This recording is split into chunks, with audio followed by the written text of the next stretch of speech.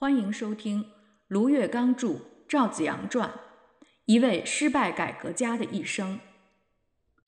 上卷第二部：陶赵制越，营造乌托邦（一九五一至一九六四）。第七章：人民公社来了。第一节：没收农民财产。合作化的好处，声称有两条：第一是经济的，有利于农业机械化、水利化，多打粮食。第二是政治的，可以防止地主阶级剥削、卷土重来，防止资本主义复辟，农民再受地主二变苦，再遭二茬罪。这是一个践踏民主革命诺言、自相矛盾的说法。对赵来说，领导运动依然是说归说，做归做。农民进合作社、社会主义这个笼子，初级社是初级笼子，高级社是高级笼子，一边是强迫，一边是引导。前面说到了镇压农民反抗合作化所采取的强硬措施，成功的使一个自愿互利民主的进行生产要素自由结合的自发组织民间互助契约行为，变成了社会改造、国家意志强迫、以剥夺全体农民私有财产为目标的政治运动。硬的一手相对简单，软的这一手做起来却相当繁复庞杂，变私有为集体国家公有。广东土地制度复杂，山区、丘陵、珠三角、沿海地区大不同，而且农民家庭情况千差万别。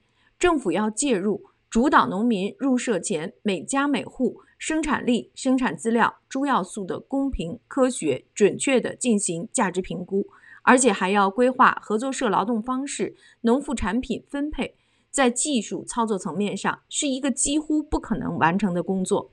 想要事情简单，先要把事情搞复杂。我们来看赵领导的华南分局农村工作部促进合作社关心些什么事情，要办些什么事情。首先是土地，要搞清土地的性质、状态、功能，然后确定折价入股的合作原则，可详述之。土地入股分七大类，十三种情况。第一大类，一般土地的平产入股，分两种情况。一是按照现在的土地条件为主，参照土改查田定产时的产量入股。特别注明，所谓现在的土地条件，是指解放以来经兴修水利、改良土壤等引起土地的土质、水利等业已变化的条件。参照土地远近、耕作难易以及费工多少而言。二是没有太大变化的土地。第二大类，多年种植的经济作物，分为三种情况。一是费工较大的凤梨、柑、橙、蕉等；二是费工较少的荔枝、椰子、龙眼、黄皮、木瓜、桃、李、梨、葵、茶、桐等；三是浙桑地之浙头、桑头仍有用者。第三大类开荒土地分四种情况：公荒、公开、公荒私开、私荒、私开、私荒、公开。第四大类。租点地分两种情况：租入地、点入地。第五大类代管地分两种情况：代管关系属于租赁关系，代管地收益全部或者大部归属代管者。第六大类鱼塘、藕池。第七大类自留菜地不超过本户土地的百分之十。其次是小农耕作方式的第一要素耕牛。耕牛问题分三大类：第一大类。原为互助组织公牛，第二大类私有耕牛，又分两种情况：私有供养、私有私养。第三大类政府奖励互助组织公牛。再往下的问题依次是农具问题、肥料问题、种子问题、劳动日的计算问题、分配问题。每一个问题都十分复杂，而且受制于四季、二十四节气、刮风下雨、阴晴圆缺、自然灾害。市场、社会、社区、家族等关系，所有合作要素都是动态的，都是一个不可预测和把握的变数。毕其功于一役，实乃人力所不逮。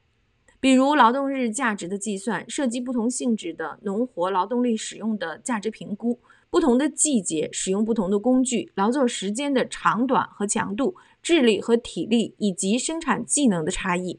这个评估涉及到两千两三千万的男女老少每一个农民，它的难度超过了前述每一片土地的评估。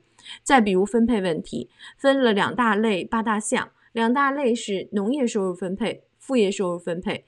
农业收入分配下面又有八大项分配方法：土地报酬比例、公积金和公益金的提取比例、公粮缴纳办法、生产成本开支、灾年减免、冬耕作物的处理、农田副产品如稻草等的分配。事无巨细地囊括了农业生产分配的方方面面，看似精细科学，实则官样文章，纸上图景。往下贯彻细，往上报告粗。照向中央中南局的报告，则将合作社的生产分配组织简化为三平：平抑土地的产量、劳力的底分、耕牛农技应得的报酬，以及土地与劳力的分役办法。而且还要统一度量衡。广东农村计量单位有十六种之多，亩、斤、丈、挑、担、把、株、桶、棚、片、载、车、井、件各条。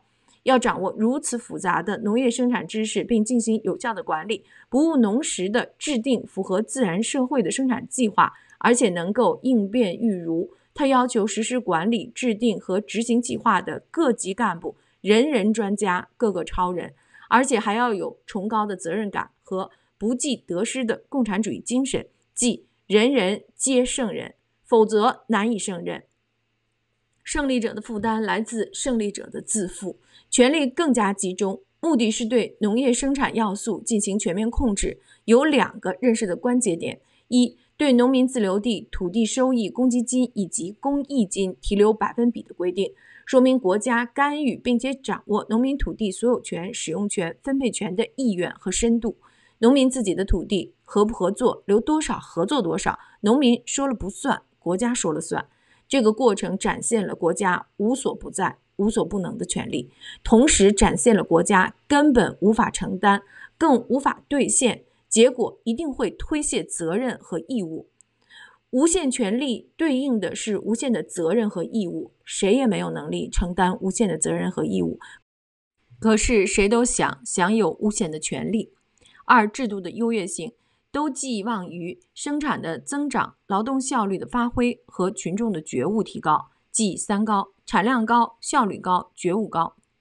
合作化，农民有激烈的暴动，有弱者的反抗。杀耕牛不养猪不养鸡鸭鹅，广东叫做“三鸟”，已经是广东农村普遍的行动。新会县的鸭蛋香港市场著名。一九五四年，新会有母鸭十五万只，一九五五年只剩下了九万只，减少了百分之四十。聪明如赵，当然看清楚了问题所在以及自己富有的使命。赵承认，目前农村社会情况紧张，购粮困难。反映了农村小生产者与社会主义改造事业的矛盾。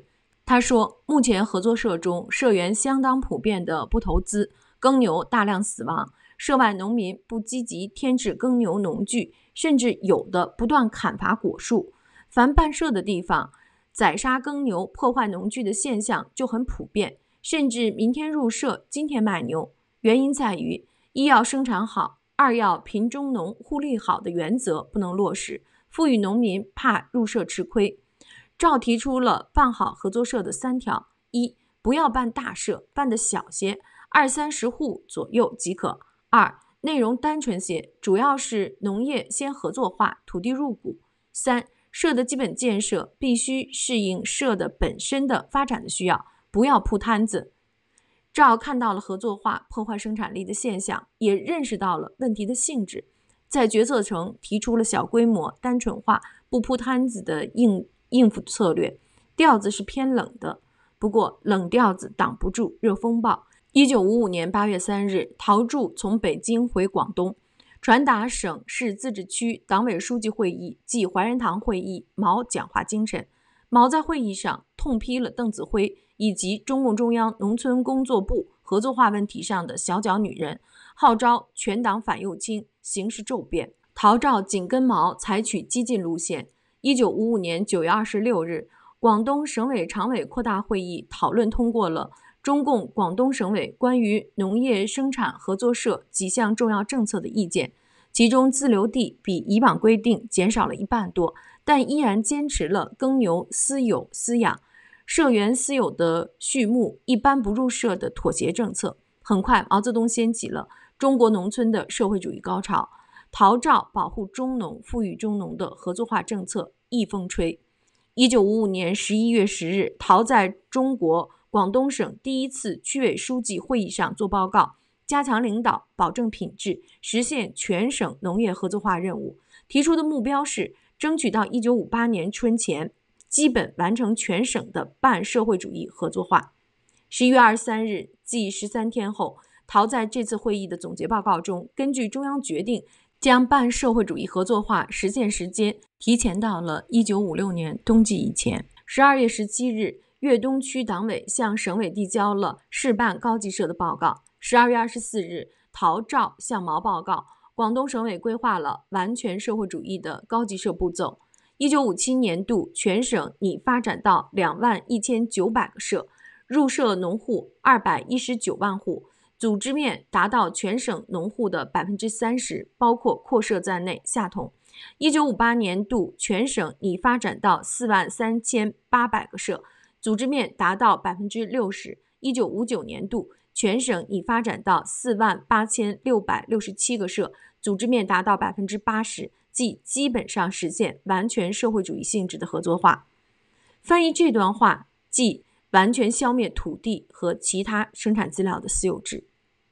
关于为什么要实行合作化的土地公有制，即为什么要对农民翻脸不认账，毛赤裸裸有一段话：农业合作化使我们在无产阶级社会主义的基础上，而不是在资产阶级民主主义的基础上，巩固了同农民的联盟，这就会使资产阶级最后的孤立起来。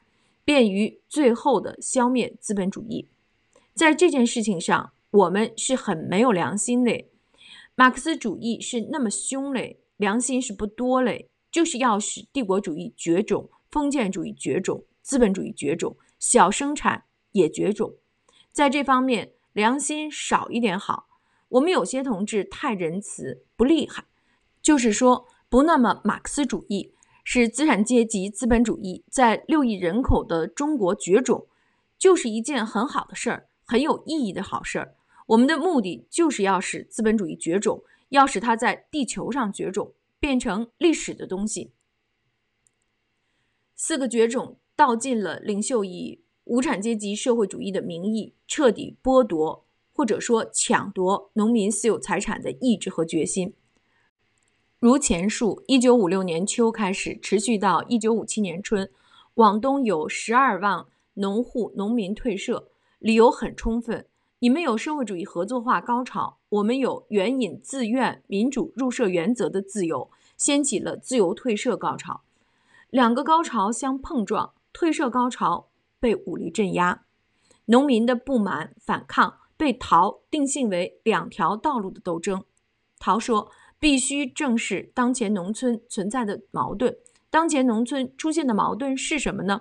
概括起来，就是两条道路斗争：到底是走社会主义的道路，还是走资本主义的道路？到现在还有不同的意见，这就是矛盾的表现。这个矛盾如不解决，农村工作就不仅不能够前进一步，而且还要倒退。毛主席教导我们：农村阵地，社会主义不去占领，资本主义必然要去占领。目前两套道路的斗争，就是巩固社会主义制度同恢复资本主义的斗争。说白了，就是要对农民实行阶级斗争，即毛说的对农民实行专政。一九五七年，除了反右派运动，广东还有两场大辩论。一是历史问题大辩论，广东第二次反地方主义以株连各级干部两万人的战绩，扫荡了冯古反党集团、反党联盟以及党内的反对派。二是走资本主义道路还是社会主义道路的两条道路的大辩论，于是有了民主整社运动，有了资本主义自发势力的提法，训练了十万名乡社以上的干部奔赴农村，对农民进行社会主义教育。两条道路走哪一条？提出了新一轮的好的很，糟的很。农民土地所有制的制度变化让人眼花缭乱，土改没有结束，统购统销合作化的锣鼓就敲响了。合作化民怨沸腾，人民公社却接踵而至。私有制承诺，公有制收场，农民始料不及，赵这样的土改专家亦始料不及。共同纲领以及土改相关法律法规一风吹，中共对农民的所有承诺一风吹。一九五一年，党内下发互助合作决议草案；一九五三年提出过渡时期的总路线；一九五四年粮食统购统销；一九五五年全面提速推进合作化。三年以后，一九五八年提出三面红旗总路线：大跃进人民公社要搞一大二公的人民公社。一九五八年九月十一日，中共广东省委关于在农村建立人民公社的决定说。要用共产主义思想和科学文化技术来教育培养社员，使之成为共产主义新人。宣布在土地前两年已经归公的情况下，私有的自留地、生猪、成片的山林果树等生产资料应该归公社所有。原来折价归合作社所有的私人耕牛、农具、山林等没有偿还部分，不再偿还。这是一次彻头彻尾的国家对农民在合作化基础上进一步的抢夺。一九四七年至一九五三年，赵参与了以广大农民的名义抢夺地主的土地财产。一九五五年至一九五八年，又代表国家参与抢夺所有农民的土地财产。这个决定的附件，全省参照执行的清远县周新人民公社章程草案，把抢夺内容规定得很详细。一、各高级社、厂矿、学校、工商企业、手工铁木器社原有的一切生产资料、基本建设、公共积累以及所有的公共财产，除国有部分外，全部无代价归公社集体所有。二、全社社员原有的小量土地、山林、竹林、果园、鱼塘等，一律无代价归公社集体所有。三、社员原有的饲养的猪、羊、鸡、鸭、鹅等牲畜，由生产队经营和分配。四、社员一切的私有房屋、粪屋、猪栏、厕所等，全部无代价归公社集体所有，由公社统一规划、全面安排、合理使用。五、原有入社的生产资料折价款全部取消。六。社员的家庭器具、衣物、日常用物等生活资料，一律归社员所有。同时，全面取消了农村自由市场贸易。毛在写郑州会议讲话提纲时，毫不忌讳地说：“继合作化之后，人民公社是一次针对全体农民的贫分主义强产共产。”广东陶照按照毛的意志推行人民公社制度，就是没收农民财产。和改变按劳取酬。欢迎继续收听第二节，从化四日重头彩。